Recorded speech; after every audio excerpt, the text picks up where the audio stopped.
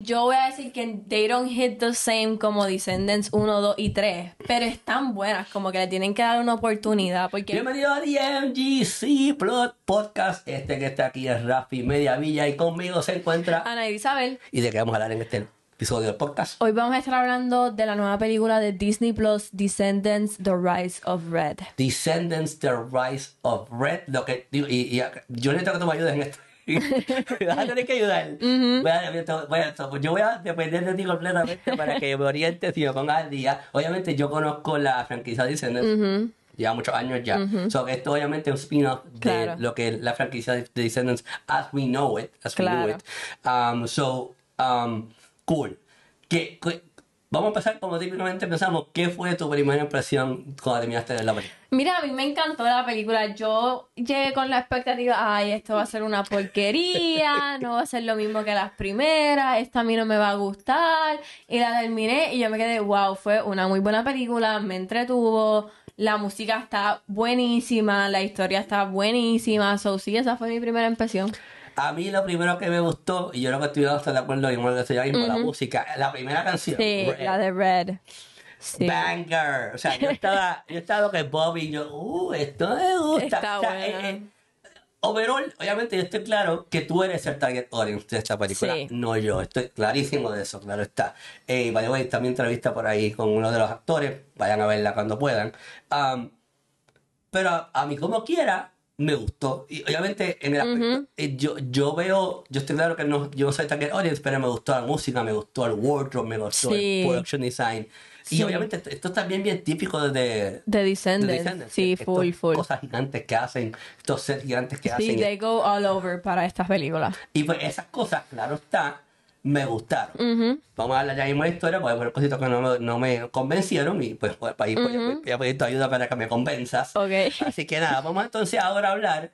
eh, vamos a hablar de que quizás que, que, que funcionó. Vamos a hablar de que funcionó. Eh, La que- música funcionó, el wardrobe funcionó, este, los actores funcionaron. Este, sí, fíjate, voy a decir algo que lo que al principio, como que algo que me marcó fue como que el como que el memorial que le hicieron a Cameron Boyce. A mí se me salieron las lágrimas, déjame decirte.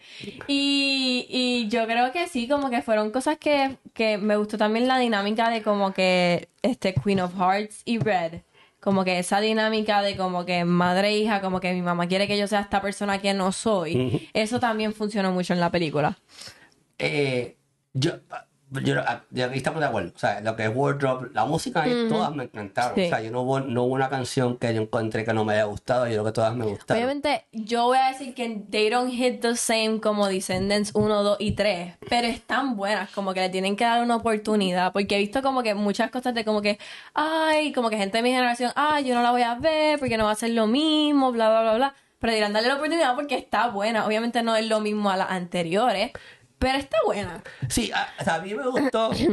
Obviamente, vamos a hablar de historia mismo, pero a mí me gustó mucho lo que quisieron hacer. O sea, y Claro. la- claro, como te acabas de decir, y pues mencioné al principio, lo que es la música, lo que es la coreografía, porque la coreografía de Red, Sí, sí, sí, sí, sí. o sea, lo que es la coreografía, lo que es el, el, el aspecto, los aspectos técnicos de la película, pues me gustaron. Y obviamente el casting, es obviamente un montón de actores nuevos, Claro. pero es deep, es un casting, o sea, tiene un montón, o sea, es un, un montón de personajes, un montón de actores. Y de familiar faces de- también. exacto. Y pues no, no es algo que, que, que o sea, está como Ruby Rose Turner, está este Rita Ora, está Brandy Norwood, que obviamente mucha gente la conoce. este, o sea, tienen un buen casting, tienen un buen casting. Un montón de gente que son nuevas, pero yo creo que es, como tú dices, feeding para esta nueva Claro. lo que claro. quieren contar con esta historia. Y yo creo que esa es la clave.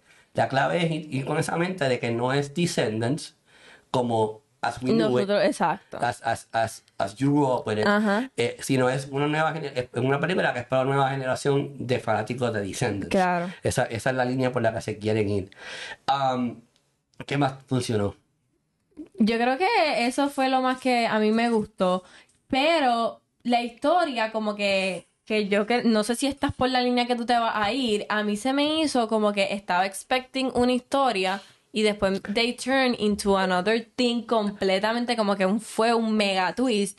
Yo me quedé, ah, ok, como que esto es lo que, este es el plot de la película. Sí, e- es que mi problema de la historia es ese, y aquí vamos a lo que no funcionó. El problema es que a la primera media hora está brutal. Entonces, they're building up, they're building up, y de momento cambian a este viaje en el tiempo y, y este, este, ok, ok, entonces el- como que el conflicto de la, de la historia Sí. empieza, ahí es que Y se- también que es como que full diferente a Descendants, porque la primera película de Descendants es que los malos le van a dar una oportunidad en Aradon y ellos se van a ir a la, a la escuela. Yo pensé que eso era lo que iban a hacer con esta película.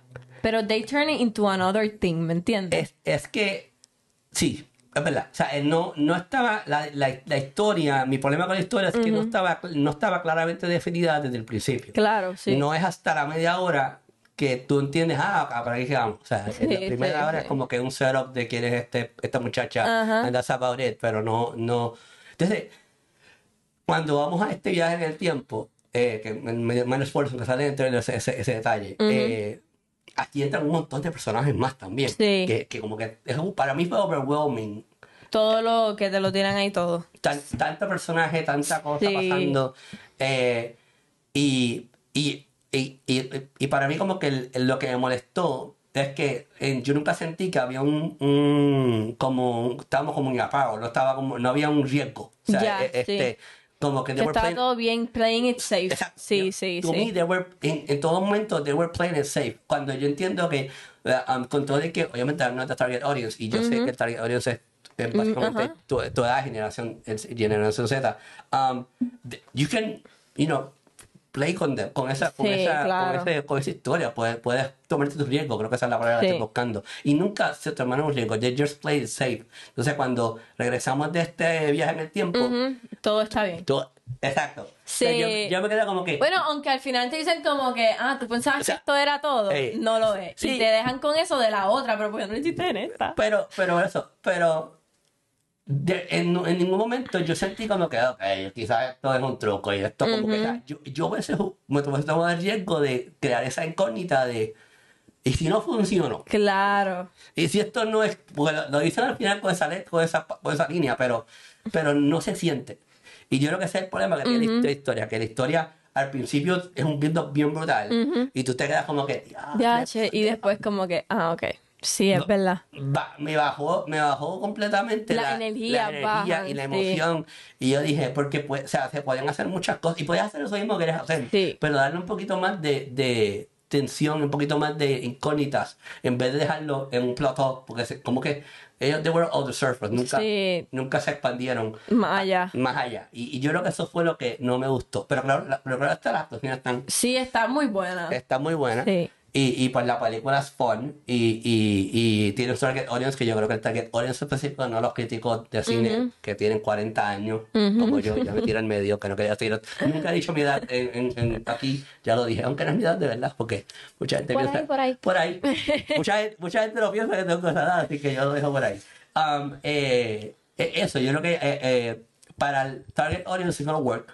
Sí. A mamá y papá quizás no le guste, este, aunque también tiene cositas que mamá y papá Sí, probablemente sí. el- deban, verla para entender. Um, tiene, bueno, yo creo que en resumen, lo que es la música. Está muy buena. Está muy buena. O sea, la música y no es para mí, para decir que Sí. yo me la disfruté. Está pegajosa. Yo me, yo, o sea, yo me remonté a mis tiempos de High School Musical y dije, la música está. Bueno, es que Disney como que Claro, siempre va a estar. Claro, Sí. la música está. Obviamente, Word, cosas que yo, que el aspecto técnico. El que, pues, maquillaje, Word, todo. esas cosas. No, los efectos. a que no ganan ningún premio, pero brilla Sí, esas sí. cosas. Y obviamente, pues yo entiendo que, ve- oye, vete con las expectativas de que vas a ver algo nuevo. Claro, claro. Yo creo que esa es la, la, la, la, la, la- la clave. No, esto no es Descendants como, pues, como lo vimos, sino esto, esto es un spin-off diferente, un toque diferente. Claro. Eh, y pues nada, recomendada que la vean. Obviamente está en Plus. Sí, véanla. De verdad es como que un fun time para verla. Es como una hora y pico nada más. no dura nada. Sí. Y se va a las millas también. yo Sí, como yo que en verdad es un fun time para verla un sábado en tu Va- casa. en tu casa, con la familia, Con durante, tus amigos. con tus panas. Exacto. Vayan a verla. Sí. Está en Disney Plus. Estás pagando por Disney Plus. Aprovecha. Literal. O sea, Bueno, aunque ahora Disney Plus tiene un montón de cosas que ya tú no sabes ni que es Disney, pero está buena. eso- ese es otro podcast. Ese es otro podcast completamente. O sea, nos podemos ir una hora completa hablando de los cambios que hay en Disney Plus. Que no sé por qué están ahí.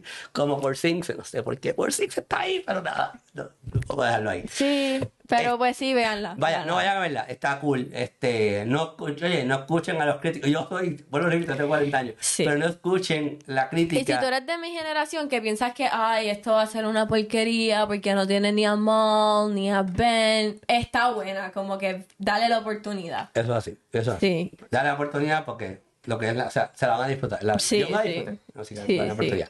Bueno, vamos a darlo ahí. ¿Dónde te pueden conseguir? Me pueden conseguir en todas las redes sociales como Anaira Isabel 01 y en TikTok como Anaira underscore Isabel. ¿Y a ti, Rafi? Ahí me pueden conseguir como R Media Villa en todas las redes sociales, Rafi Media Villa para todo lo que tengan como entrevista. Ahí hay una, está una entrevista de, de esta película en, la, en esa página. Obviamente también la puedes conseguir en criticólogos.com para todo lo demás que tenga que ver con noticias de Yes. cine, streaming, autos, tecnología, sucesivamente. De todo, literalmente de todo. De todo va a estar ahí. Vemos la próxima. Bye. Bye.